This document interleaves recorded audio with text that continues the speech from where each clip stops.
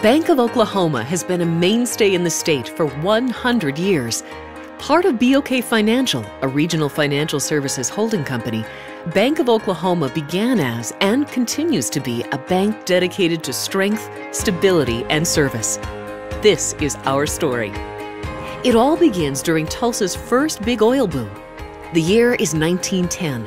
Harry Sinclair and a few other independent oilmen need a bank that understands their business so they acquire Farmers National Bank and reopen it as Exchange National Bank. As the oil economy expands, so does the bank and the Tulsa community it serves. From the beginning, the bank believes in a culture committed to serving the mutual benefits of its customers and its community. That tradition remains just as visible 100 years later. By the late 20s, assets of Exchange Bank are 90 times its original size. Business is good. Like the other Tulsa banks at this time, Exchange Bank survives Wall Street's panic without even a single dollar lost to depositors. Strengthened by the oil industry, the local Tulsa economy is in much better shape than the rest of the nation. But Oklahomans can see the depression spreading across the country and they soon begin withdrawing deposits and avoiding loans. Finally, in the early 30s, the bottom hits the oil and real estate markets in Oklahoma. Tulsa's banks, including Exchange, are in deep trouble. But help is around the corner. Harry Sinclair, James A. Chapman, and H.G. Barnard, three oil and ranching entrepreneurs, advance more than $6.5 million of their personal fortunes to fortify the bank and bolster the Tulsa banking community. The year is 1933. A few months later, Exchange Bank is reorganized as the National Bank of Tulsa. Its $8 million in capitalization makes it the largest bank in the Southwest. Things are looking up, and the bank has a renewed focus on serving customers and growing business.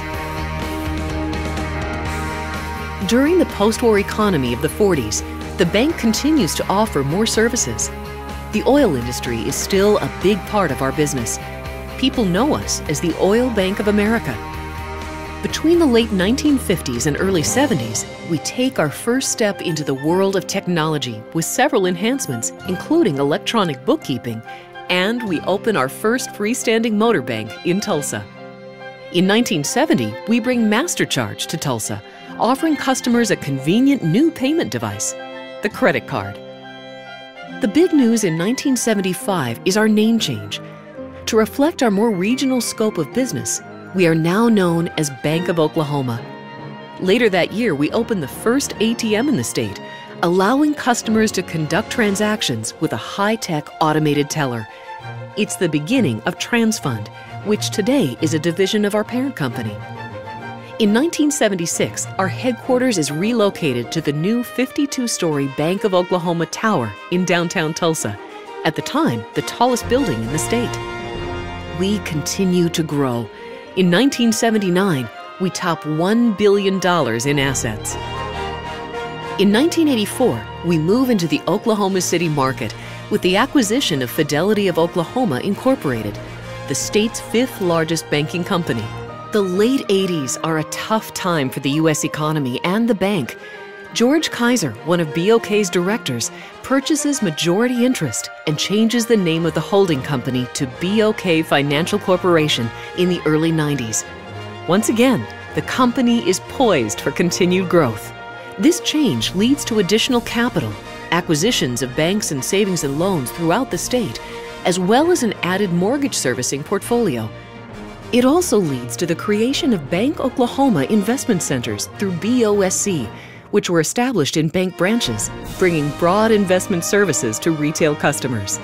Following the creation of its parent company, Bank of Oklahoma beefs up its product offerings to further improve service to customers, like bringing supermarket banking to Oklahoma in 1993.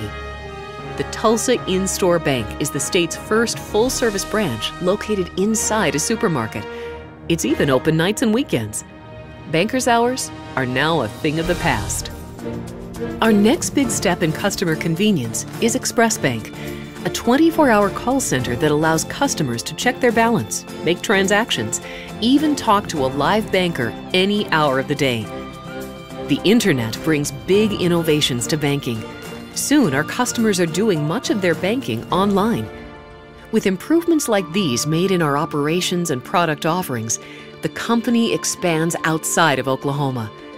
By 2010, BOK Financial includes seven subsidiary banks in some of the country's fastest growing metropolitan markets. It also has a full service wealth management division serving individuals and institutions and includes a broker dealer and a registered investment advisor. And the future of banking is more exciting and mobile than ever. With a mobile phone app on the horizon, BOK customers will soon bank wherever they are, whenever they want. Over these past 100 years, BOK and BOK Financial have been leaders in shaping Oklahoma. We continue to provide public financing for major projects that improve our state, like the iconic Oklahoma State Capitol Dome, numerous infrastructure improvements such as roads, bridges, and turnpikes, as well as facilities on nearly every college and university campus in the state. BOK is also highly regarded for its community development work, ensuring the low to moderate income areas we serve have numerous financial solutions, including mortgages and wealth creation. Our work has earned the prestigious Outstanding Community Reinvestment Act rating from the Office of the Comptroller of the Currency. And you don't have to look far to see BOK's nearly 3,000 employees volunteering their time all over the community each year throughout the state, the bank and our employees give millions of dollars, tens of thousands of volunteer hours, and many in kind contributions, all in an effort to make life the best it can be for the communities we serve. BOK also positively impacts Oklahoma through economic development efforts. You can see our passionate support in projects like the BOK Center Arena and ONEOK Field in downtown Tulsa as well as economic development packages in Oklahoma City that created the Bricktown Entertainment District, the Ford Center Arena, AT&T Bricktown Ballpark, and other significant civic improvements.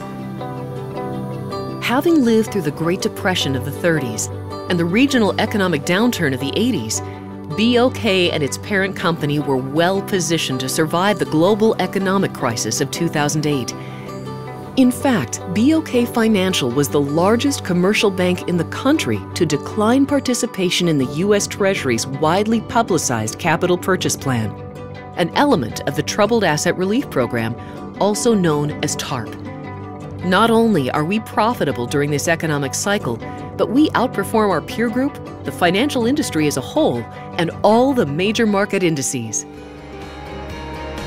For decades, Bank of Oklahoma has been the market leader, capturing dominant market share in Tulsa, Oklahoma City, as well as serving many communities throughout the state. And we think there's a good reason for that strength, stability, and service. For 100 years, we've been focused on providing the best products and services customized to meet the individual needs of our customers. There you have it the history of Bank of Oklahoma and its first 100 years. We're already looking forward to the next 100 years.